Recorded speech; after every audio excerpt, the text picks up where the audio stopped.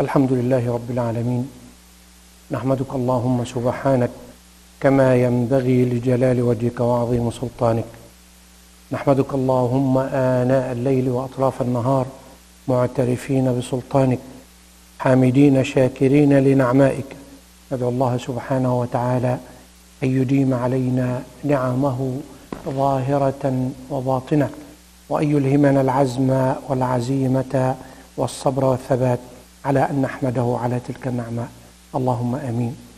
وأشهد أن لا إله إلا الله وحده لا شريك له يحيي ويميت وهو حي لا يموت وهو على كل شيء قدير.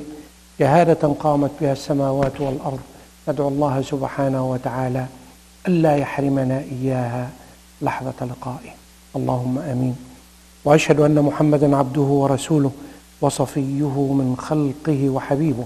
أدى الأمانة وبلغ الرسالة ونصح الأمة وكشف الغمة وتركنا على المحجة البيضاء ليلها كنهارها لا يزيغ عنها إلا هالك. اللهم اجزه عنا غير ما تجزي به مرسلا ونبيا. اللهم شفعه فينا شفاعة لا نعذب بعدها أبدا. اللهم اسقنا من حوضه شربة لا نظمأ بعدها أبدا. اللهم آمين. محمد صلى الله عليه وسلم طب القلوب ودواؤها وعافيه الابدان وشفاؤها ونور الابصار وضياؤها الله عليك الله يا علم الهدى ما هبت النسائم وما ناحت على الايك الحمائم My dear respected brothers and sisters in Islam, our sons and daughters, the future of Islam, inshaAllah Rabbil Alameen. We're still discussing and learning and enhancing our knowledge in that great topic which is al-ibtila, al-ikhtibar. Allah subhanahu wa ta'ala once in a while is testing us and putting us in a real trial in order to find out how patient we are how much of trust we have in Allah subhanahu wa ta'ala, how we deal with those situations when we are really in a real test, whatever that test is with its difficulties and its challenges and problems and so on and so forth. Al-ibtila. وفقه الابتلاء that's the, uh, the understanding, the deep understanding of this topic in Islam. It needs us to keep reflecting and wondering first what it is, second, the types of ibtila, the kinds of ibtila, and what is needed from us to deal with it, what I should be equipped with in order to deal with that issue in my life. How I accept it and no complain about it whatsoever.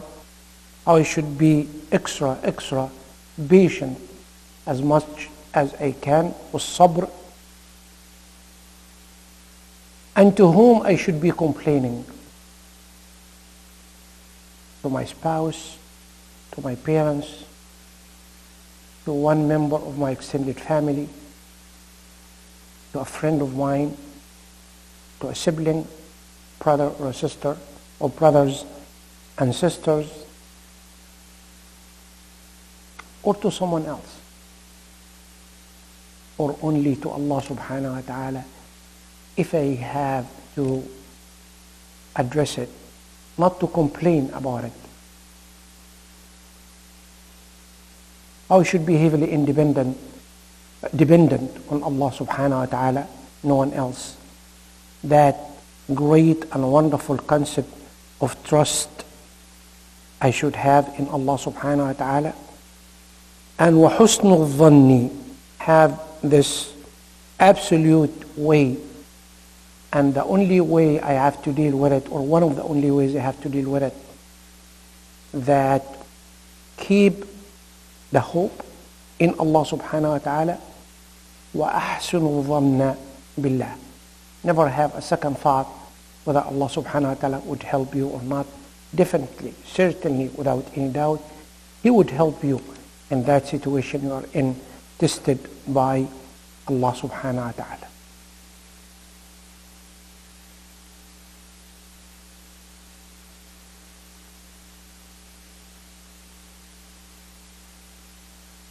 when it comes to the, to the kinds of, of ibtila or ikhtibar or how Allah subhanahu wa ta'ala is testing us, uh, there are many. And some of us might experience one of them or sometimes multiple, many of them at once.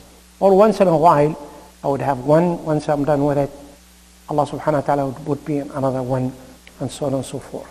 Al-huzn ibtila, being sad and in grief, it is a test from Allah subhanahu wa ta'ala.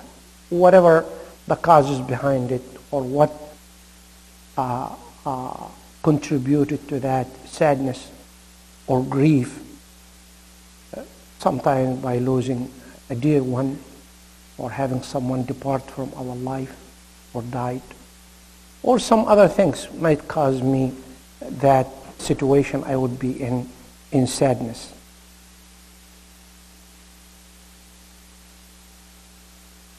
Life itself is abtila. The life itself.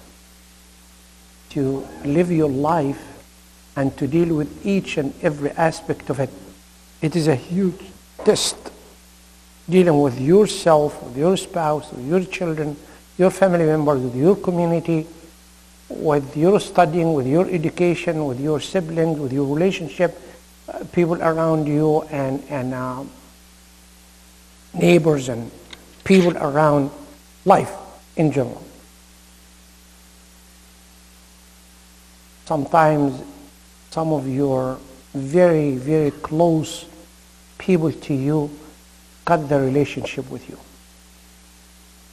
A test from Allah subhanahu wa ta'ala. Whether you know the reasons or not, sometimes if you know the reason, oh, might make sense. I know why they cut their relationship with me. But again, it is ibtila, an ikhtibar from Allah subhanahu wa ta'ala.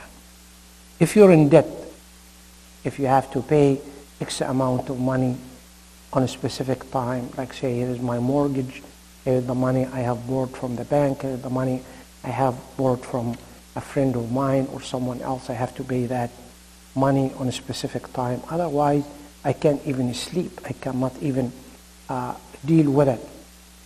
Uh, someone, as I mentioned before, died. Al-faqr. And someone would live in poverty or do not have enough to sustain his or her life or to fulfill his uh, uh, obligations toward life. Is what I'm earning, is how much money I have, is I have to spend. If you look at your bills, my bills already exceed what I'm earning, my income. Ibtila from Allah subhanahu wa ta'ala, ikhtibar, to test from Allah how I deal with it. Um, sickness and illness and uh, fatigue and having anything you can complain about uh, physically. Uh, even wallahi, a little needle when it poked your finger. It is still ibtila from Allah subhanahu wa ta'ala. A test from Allah subhanahu wa ta'ala. Uh, marital uh, problems and, and, and challenges and dispute between husband and wife and we do not know how to deal with that issue or that situation, how we can uh, deal with it. Uh, sons and daughters in my life as parents, here is what I'm wishing for them to be, yet they are not at that direction or that uh, uh um, relationship with Allah subhanahu wa ta'ala in terms of deen, Islam, and the Sunnah and Sharia and, and the teaching of Allah, the teaching of Rasulullah sallallahu. Or I wish for my sons and daughters to be behaving this way, yet they are not. They are not listening. They are not abiding by the rules and regulation and the teaching of Islam and so on and so forth. They are not. They don't really, really care even about their future or their schooling or their education. It's a test. It's a ibtila from Allah subhanahu wa ta'ala. How I deal with it, how I handle uh, that situation. Al-Hasad, uh, someone just all of a sudden, you know, I have been uh, uh, experiencing that envy from people around me because of whatever I do have in life, so people do not like for me to have such a thing. Like my business is doing well, or I'm really accelerating in my education, or look at my children, mashallah, they have been doing such and such. You'll find some people with their hasad, with their uh, that envy, with that uh, how come he does or she does or they do, and I don't. That kind of uh, of situation. Uh, if you look at it from the mental, psychological, and, and uh, an emotional uh, point of view, how you deal with it.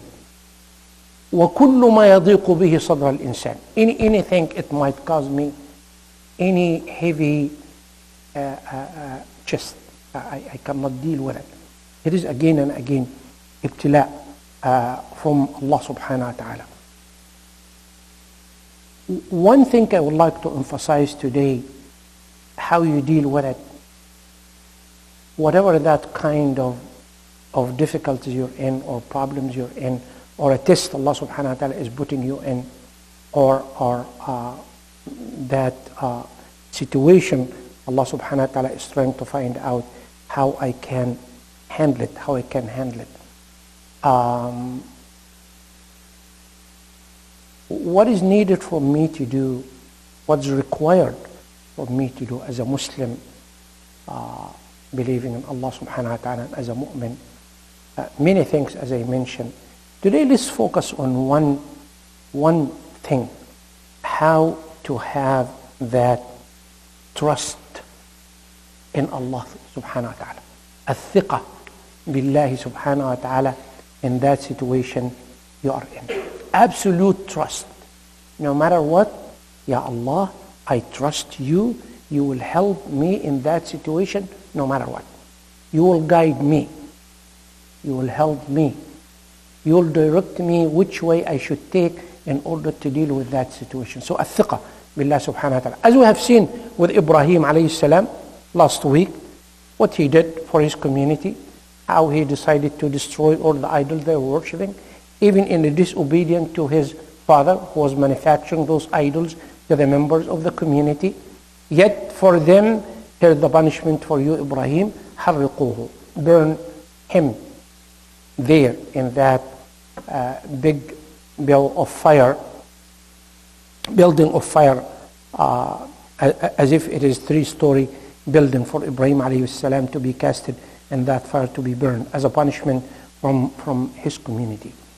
How, how Sayyidina Ibrahim has dealt with that situation? Allah, it is a thiqah billah subhanahu wa ta'ala. The trust with Allah. Even when Jibreel alayhi salam would come and ask him, any in need for you, anything you need from Allah? And Sayyidina Ibrahim even say, no, no, no.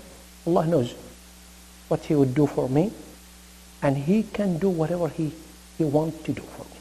الثقة بالله the trust in Allah subhanahu wa ta'ala no matter what how huge that situation is how severe it is how bitter it is how it is so difficult to deal with ثقتك بالله the trust in Allah subhanahu wa ta'ala that's why Allah subhanahu wa ta'ala all of a sudden after uh, Sayyidina Jibreel alayhi salam asked Sayyidina Ibrahim you need any help or any need from Allah Ibrahim said no Allah subhanahu wa ta'ala said what?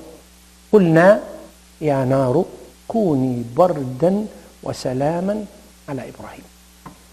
Can you imagine a height of three-story building of wood burning and Ibrahim in the middle of it and I do not need anything from you Jibreel to ask Allah subhanahu wa ta'ala for me in order to be safe and secure. Now the order from Allah subhanahu wa ta'ala, Allah subhanahu wa ta'ala has given His command, His order to the fire كوني بي بردا وسلاما على إبراهيم distinguished totally end up that fire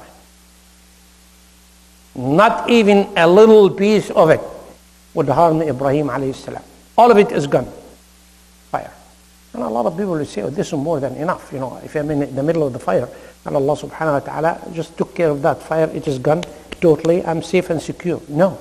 Allah subhanahu wa ta'ala has given Sayyidina Ibrahim more than that. قلنا يا نار كوني بردا the fire is gone وسلاما let him with the highest level of comfort ever in peace because it's terrifying. Wallah, yani, even when, when I'm cooking or helping and, and I, my hand by chance or anything just touch the oven where it is burning, you know, I, I would scream. Uh, sometimes even uh, some people would call uh, fire department, you know, help me because we're having a little fire at home. Okay, just touching, you know, an oven. But Sayyidina Ibrahim alayhi salam in that situation, or any human being in that situation, in the middle of a height of three-story building of burning wood in fire, and there, how you feel? Psychologically, emotionally, mentally. That's why Allah subhanahu wa ta'ala, when He gave the order, قُلْنَا يَا نَارُ كُونِي بَرْدًا Be gone totally. وَسَلَامًا Give him the comfort. على إبراهيم. This is the thiqah in Allah. This is the trust in Allah subhanahu wa ta'ala. Once you have that absolute trust in Him, whatever that situation is in your life, Allah will help you definitely without any doubt. I have no doubt whatsoever that thiqah, that trust in anything I do, Allah will help. Allah will help. That's exactly what, what happened to Sayyidina Ibrahim salam. Another example, Musa alayhi salam. When he left his, his community and he went to the middle of the desert, subhanallah, and seeking fire in order to have some guidance with that, that the order came to him from Allah subhanahu wa ta'ala. Uh, in, in, in order to find out, you know, how, how he can help his own people, especially with that situation with Pharaoh in Egypt and the persecution and the killing and the, the torturement and the punishment and how they have been suffering. Some of them would come to him believing in Allah subhanahu wa ta'ala. Some of them would be totally rejecting, especially when it comes to those magicians who were hired by Pharaoh in order to defeat Musa alayhi salam in a situation. So Musa did not know what to do. So let me go to the desert, look for something, in order to come back to my uh, uh, community, he, he never thought what would be the solution. Can you imagine? You are in the middle of the desert. No one is around. No human being whatsoever. No guidance. No nothing. No GPS. Until you were to go. Nothing Except one thing Musa alayhi salam had in his mind. The trust in Allah. الثقة بالله سبحانه وتعالى. He would tell him what to do. فثق بربك. It was the guidance for Musa alayhi salam. Lead the way, will tell you what to do. Go this way, go this way, stay this way, be there, be here, and so on and so forth. Musa alayhi salam in that situation. Sayyidina Ibrahim, again, alayhi salam. When he saw in his dream that he had to slaughter his son Ismail as a sacrifice to Allah subhanahu wa ta'ala. And with that situation, Sayyidina Ibrahim alayhi salam, over the age of, six, uh, of 90, 90 year old and above, and no children whatsoever he had from his wife Sarah.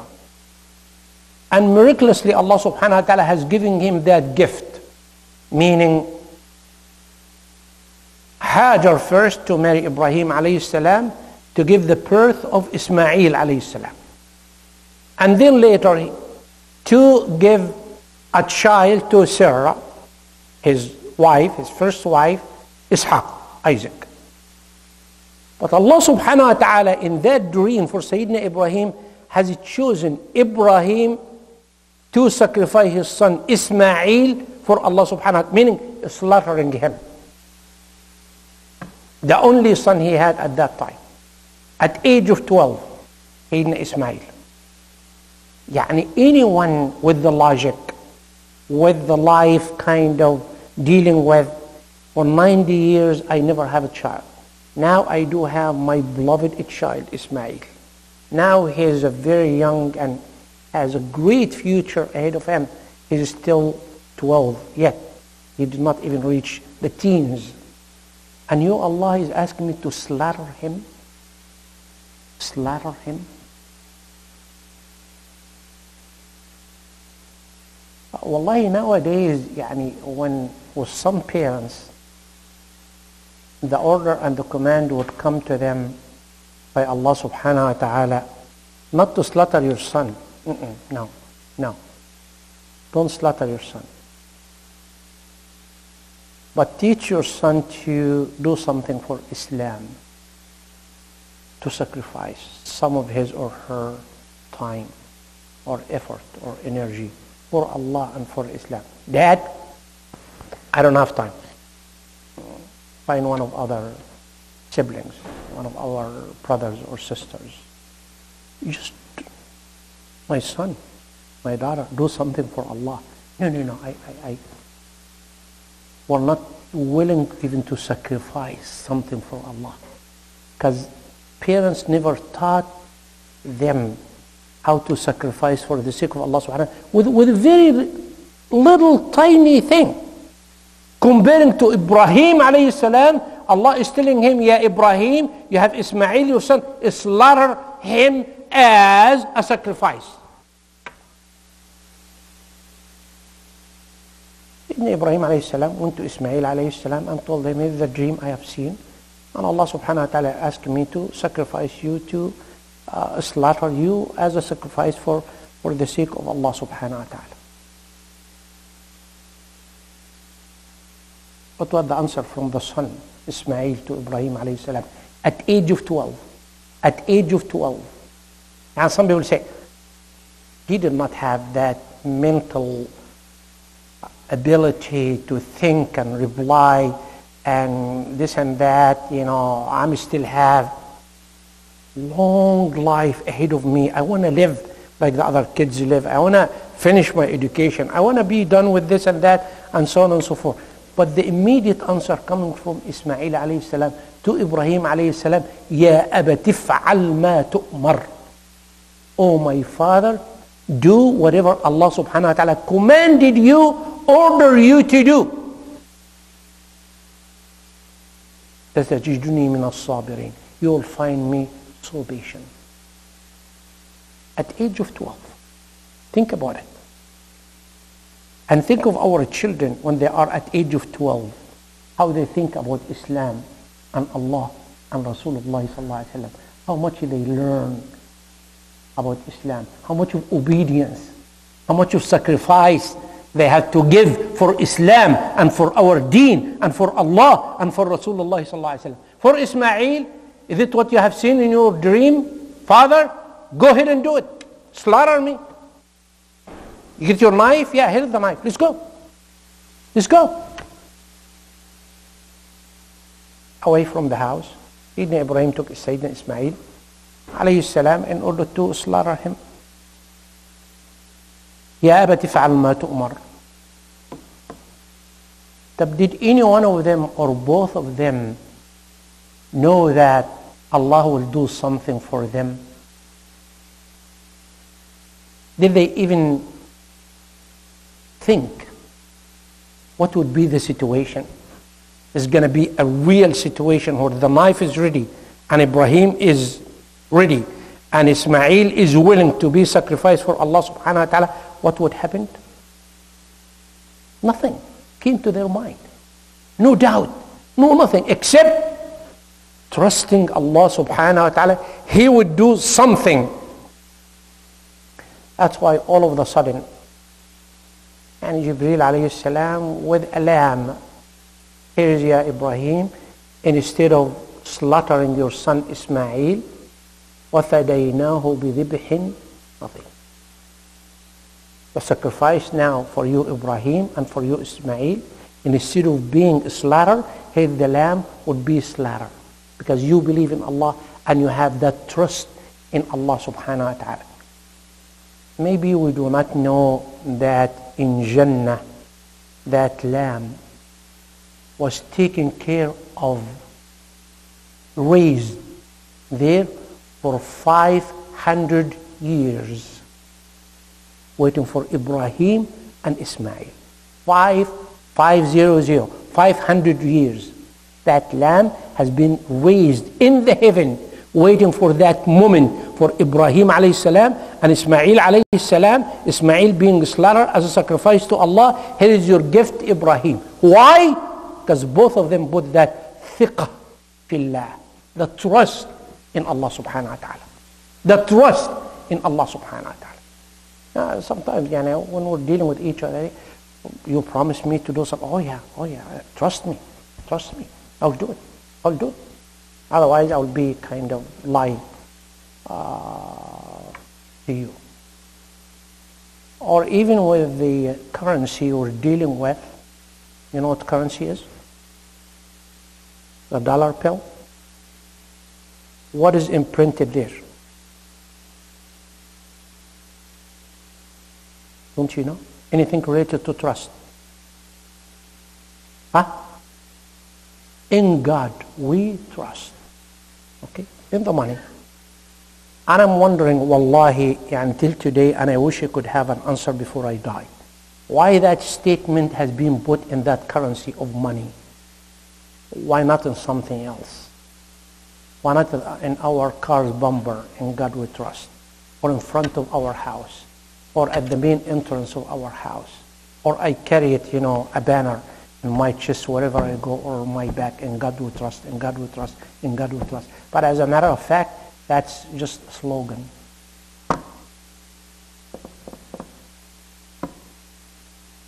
Not real. I wish it would be real, wallahi.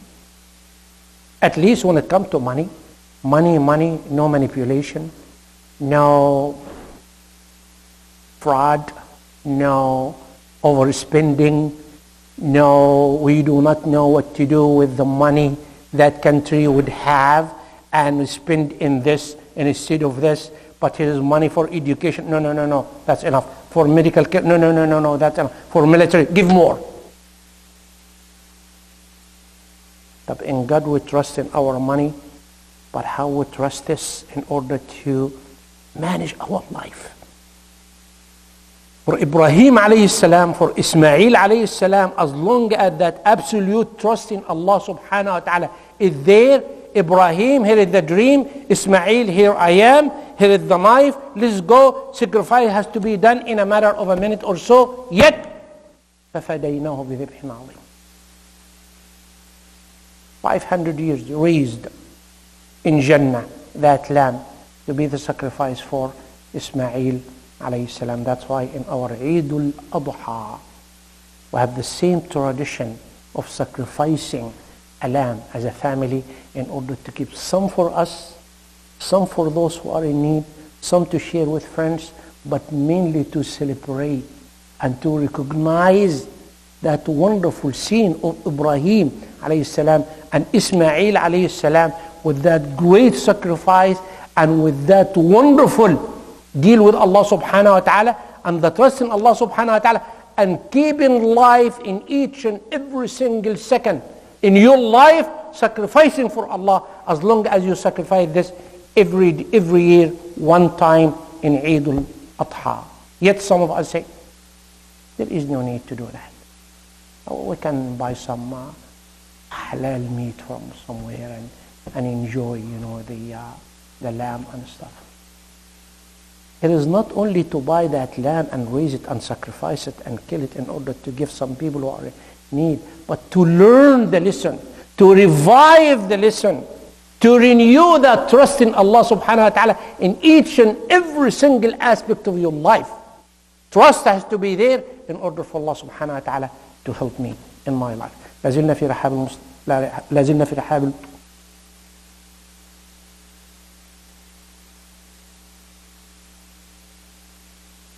البر لا يبلى والذنب لا ينسى والديان لا يموت كل ابن آدم خطاء وخير الخطائين التوابون والتائبون الذنب كمن لا ذنب له ادعوا الله وأنتم موقنون بالإجابة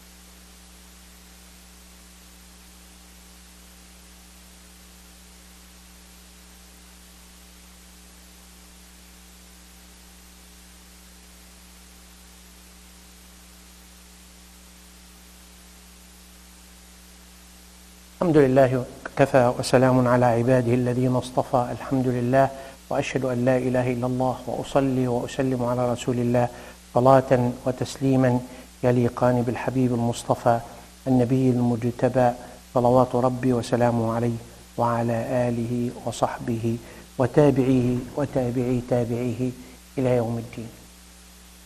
Wallahi, as if we're speaking now, attending this blessed Friday sermon here in Masjid Iman, we are in a huge test. You choose to come to the Friday sermon, whether you took some time off from your workplace or your business you're running or some other obligation, but you're determined to come to that sermon. You sacrifice some of your time, some of your effort, some of your obligations in order to come, in order to pass this test by Allah, not to skip that Friday sermon, which is an obligation upon me as a Muslim I have to do. May Allah reward all of you the best for such a thing. It is sacrifice. It's a working day. I, I, I, I, I cannot take the day off. Maybe yani, my lunch hour, maybe uh, double of one hour, couple of hours and I, I, would, I would work more and more. This is a sacrifice by. Living in this country with many challenges in your life in this country, with anything, subhanAllah, it is a sacrifice. But here is one question I decided to raise with you. A lot of people would say, but subhanAllah, you're talking about Sayyidina Ibrahim. This is Sayyidina Ibrahim, Abu al-Anbiya.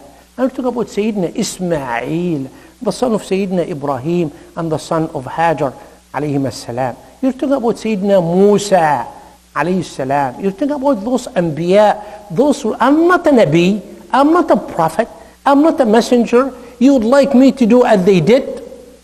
Wallahi, you can do as they did. Wallahi, you can. Wallahi, you can. As long as you have that firm belief in Allah subhanahu wa ta'ala. Wallahi, wallahi, wallahi. And I'm making this oath by Allah subhanahu wa ta'ala. In today, in Friday's sermon, I have seen by my own eyes and I have heard by my own ears from very, very dedicated Muslims here, living here in Minnesota, not far away, I'm not saying in America or in Canada, here in Minnesota, whom I know really well, wallahi, again and again and again, wallahi, for so many years, so patient for something Allah will do for them. Wallahi, some of them 11 years. I'm not talking about 11 weeks or 11 months, 11 years for Allah subhanahu wa ta'ala to help them pass this test. And they did.